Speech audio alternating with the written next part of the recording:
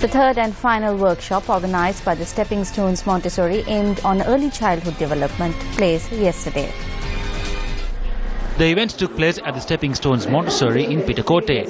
The aim of the seminar was to meet preschool teachers in the area, understand the shortcomings that they face and train them in order to update them on the latest preschool teaching methods. Two workshops were held prior to this in Jaffna and in Today has been the last of a series of workshops Stepping Stones Montessori has hosted for preschool teachers. At this workshop, we discussed the many changes that must take place. We are convinced the need to train and bring change of focus to this sector. We look forward to setting up a training center for rural teachers to foster these changes.